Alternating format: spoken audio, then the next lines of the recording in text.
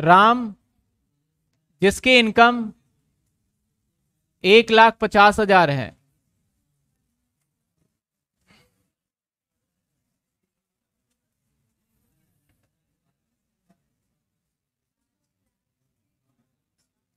भाई, आपका मैं क्लियर बताऊँ, जो बच्चे ऑफलाइन में बैठे हैं, वो चुपचाप सिर्फ़ सुने इसको तो सही रहेगा। मैंने वैसे आज याद करने के लिए टेस्ट के लिए भी बोला था।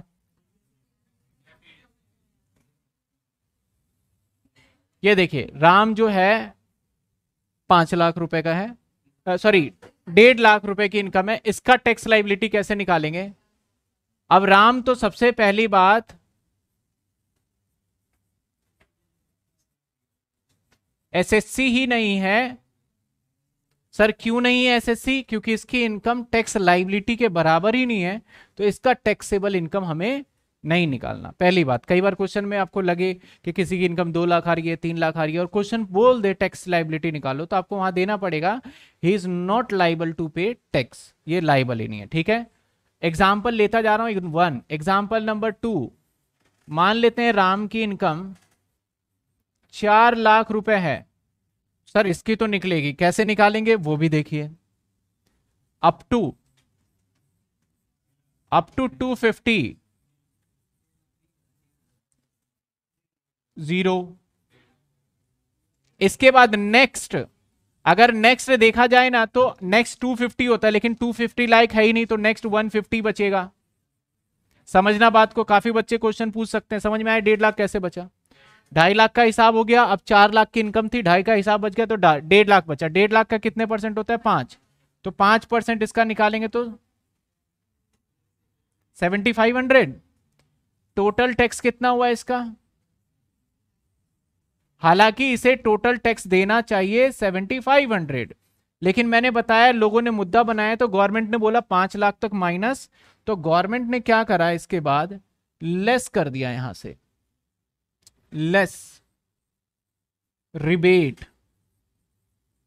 ये आपने याद रखना है, रिबेट। रिबेट कितना है हमारा? 87 ए, कैपिटल ए है। यहाँ पे कैपिटल ए और स्मॉल ए का भी बहुत अपने आप में इंपॉर्टेंस है। बोला गया कि आपको 87 ए में गवर्नमेंट ने जब लॉ बनाया तो क्या बोला कि 87 ए में आपको रिबेट मैक्सिमम दिया जाएगा बारह हज़ार पाँच सौ रुपए तक। यानी आपका टैक्स लाइबिलिटी कुछ भी बनता हो, अगर आपकी इनकम पाँच लाख रुपए या उसके अंदर है तो बारह हज़ार पाँच सौ तक आपको डिस्काउंट दिया जाएगा। यानी रिबेट दिया जाएगा, छूट दिया जाएगा। तो यहाँ पे देखा जाए तो पिछहत्तर सौ चेक क्या करें सर? सर इनकम चार लाख है। लॉ क्या कहता है? मैं लिख रहा हूँ। एटी सेवन ए क्या कहता है? एटी सेवन कहता है if income does not exceed rupees 5 lakh, then rebate then rebate या देन रिबेट बोल दिया, वैसे डिडक्शन तो नहीं बोला रिबेट अलाउड अप टू बारह हज़ार पाँच सौ। सर सेक्शन ने इतनी बातें बोली हुई है। कहता है कि अगर आपकी इनकम एक्सीड नहीं कर रही है पाँच लाख से तो आपको बारह हज़ार पाँच सौ तक का टैक्स लाइबिलिटी में छूट दिया जाएगा। अब इसकी इनकम कितनी है, सर? एक्सीड नहीं कर रहा तो ये रिबेट के लिए एलिजिबल है या नहीं है? कितने रुपए तक? बारह हज़ार पाँच सौ रुपए तक। लेकिन इसकी इनकम टैक्स लाइबिलिटी बन रही है पिछहत्तर सौ। तो रिबेट माइनस हो जाएगा कितने? टैक्स लाइबिलिटी कितनी हो गई? इसको सरकार को कोई टैक्स नहीं देना। अब चार परसेंट वाला मुद्दे की बात है, आप इस पर चार परसेंट लगाओगे तो वो तो ज़ीरो ही आना है अल्टीमेटली ठीक है? चलिए केस नंबर थ्री मान लीजिए राम की इनकम पाँच लाख रुपए है। कितनी इनकम बताई मैंने राम की? पाँच लाख। तो क्या होगा यहाँ पे, सर? सर, यहाँ पे होगा अप टू टू फिफ्टी कितने होंगे? ज़ीरो। जिसे मैं नील लिख रहा हूँ। नेक्स्ट अब भाई ढाई लाख कट गए तो पाँच में से ढाई तो ढाई तो बच रहा है ना तो नेक्स्ट टू फिफ्टी कितने रुपए? बारह हज़ार पाँच परसेंट। मैं लगा देता हूँ पाँच परसेंट, नहीं तो पूछेंगे डायरेक्ट पता नहीं कहाँ से अमाउंट आ रहा है। At the rate five percent के हिसाब से बारह हज़ार, और तो इसके इनकम नहीं है, पाँच लाख बराबर कर दिया हमने इसका। अब आ गया हमारा बारह हज़ार पाँच सौ। क्या इसकी इनकम पाँच लाख से एक्सीड है या नहीं है? नहीं है। तो क्या ये रिबेट के लिए एलिजिबल है? बिल्कुल सर अब लेस कर देंगे। 87 ए। रिबेट मैक्सिमम कितना जा सकता है? बारह पाँच सौ। इसकी टैक्सेबल इनकम क्या हो गई? ज़ीरो चलिए सर समझ में आ रहा है यहाँ तक? अब ले लेते हैं मिस्टर एक्स। जिसकी इनकम है। मिस्टर एक्स की इनकम। छ लाख रुपए। मैं इनकम बता रहा हूँ, इनकम पे लाइबिलिटी इसके अंदर डिडक्शन वगैरह की कोई चर्चा नहीं है, सब कुछ करके मैं दे रहा हूँ, सिर्फ़ आपको टैक्स लाइबिलिटी निकालना सिखा रहा हूँ यहाँ पे। इसकी इनकम कितनी है? छ लाख। सर, निकालते हैं। क्या कहता है लॉ अप टू 250 क्या रहेगा हमारा nil? Next 250 what? At the rate? At the rate five percent जो कि निकल के आता है कितने रुपए? बारह हज़ार पाँच सौ। क्या बचा है कुछ और? एक लाख रुपए बचा क्योंकि पाँच का हिसाब किताब हो गया, एक बचा। नेक्स्ट वन लैख क्या स्लैब रेट आ जाएगा? सीधा बीस परसेंट, यानी बीस हज़ार। कितने आ गए? बत्तीस हज़ार।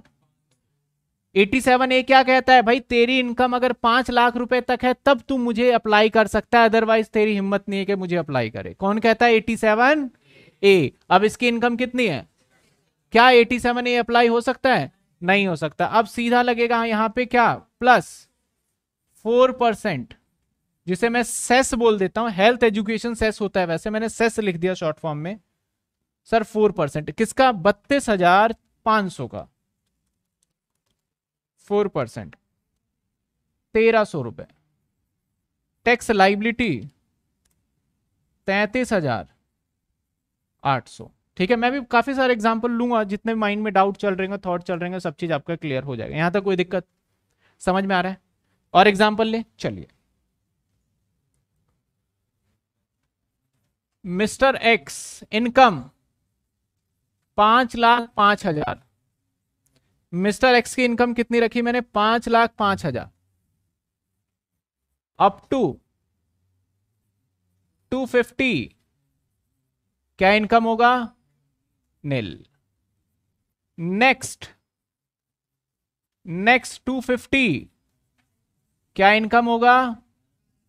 At the rate five percent जो कि आ जाता है हमारा बारह हज़ार पाँच सौ। नेक्स्ट कुछ बच रहा है क्या?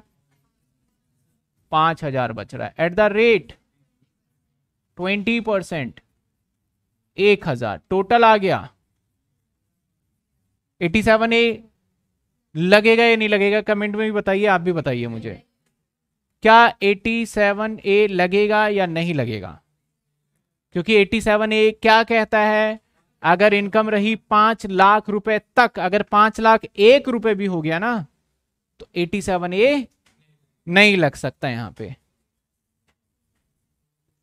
जो बच्चे लाइव है वो भी जवाब दे, जवाब आ गया नो। इसका मतलब सर, देख रहे हैं फोर परसेंट क्या लग जाएगा? सेस। ये सही से लिख देते हैं सीई डबल एस। यानी आप एक चीज़ मैं ये सिर्फ़ इसलिए करके दिखा रहा हूँ, निकाल तो आप भी लेते।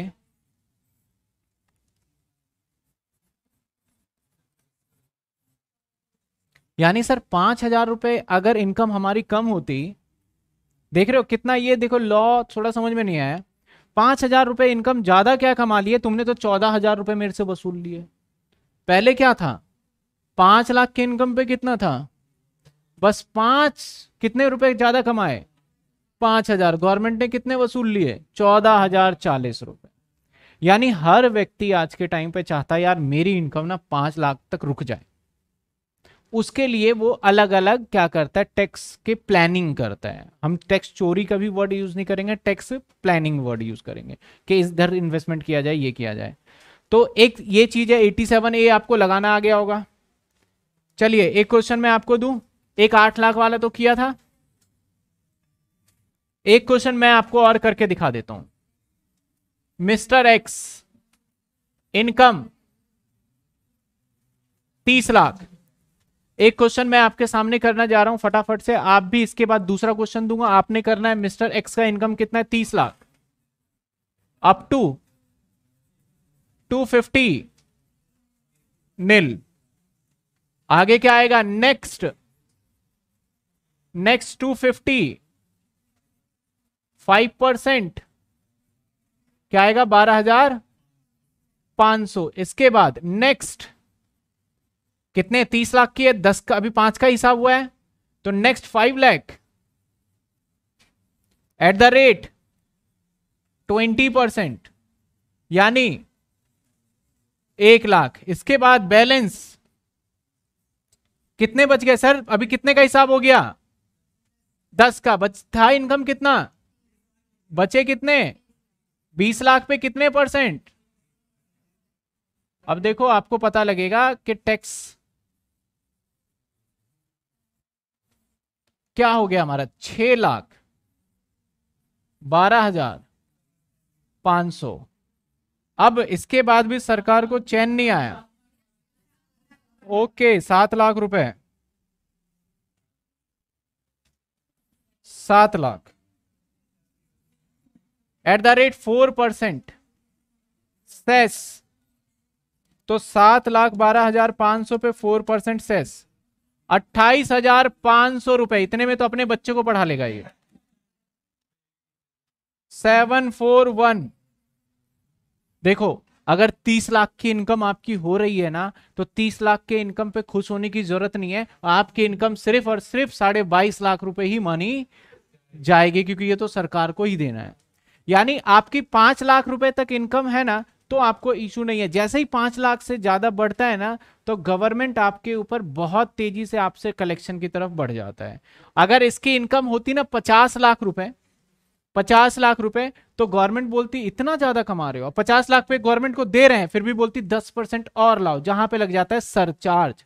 अगर किसी की इनकम पचास लाख से लेके एक करोड़ रुपए के बीच में होता है तो वहाँ लग जाता है सरचार्ज। हमारे क्वेश्चन के लिए इरेलीवेंट है, बस मैं बता रहा हूँ आपको। ठीक है ना? अगर एक करोड़ से दो करोड़ होती है तो गवर्नमेंट बोलता है, और पंद्रह परसेंट जोड़ के लाऊं। ठीक है ना? दो करोड़ से पाँच करोड़ होता है तो गवर्नमेंट कहती है, अब और थोड़ा सा बढ़ा के दो। यानी गवर्नमेंट का पर्पस पता है क्या है? कि आपके पास ज़्यादा पैसे ना छोड़ा जाए गवर्नमेंट के यूज़ में आ जाए। अब ये बेचारा कितनी मेहनत करके तीस लाख रुपए कमाएगा पूरे साल में, और इसने जो भी कमाया, कितने रुपए टैक्स देना होगा? सात लाख? इकतालीस हज़ार रुपए टैक्स देना होगा। अब फिर ये पर्सन आपके पास आएगा और बोलेगा, थोड़ी मेरी इनकम कम कर दो और कुछ ऐसे मेरे लिए टैक्स प्लानिंग कर दो जिससे कि हमारा टैक्स लाइबिलिटी कम हो जाए। मैं क्या करूँगा? मान लो मैंने बहुत जगह उससे इन्वेस्टमेंट करवाया। एफडी कर दो, अपने पेरेंट्स के मेडिकल पे डाल दो, किसी हैंडीकैप की मदद कर दो चैरिटी में डाल दो इंश्योरेंस ले लो, बहुत जगह कराया। ऐसे कर करके मैंने उसके, मान लो पाँच लाख रुपए अगर मैंने कम करवा दिया टैक्स प्लानिंग के थ्रू तो पाँच लाख कम कराते ही उसके इनकम पता ही कितनी हो जाएगी? अब 25 लाख के ऊपर टैक्स लाइबिलिटी आपको निकालोगे ना जब आप तो क्या आएगा? देखो, मैंने टैक्स प्लानिंग करा उसका। 25 लाख रुपए की इनकम पे क्या आएगा? अप टू 250 मैं चीज़ें बता रहा हूँ जो आगे रियल लाइफ में काम आएगी आपकी। नेक्स्ट अब डायरेक्ट लिखूँगा मैं। कितने आएँगे? नेक्स्ट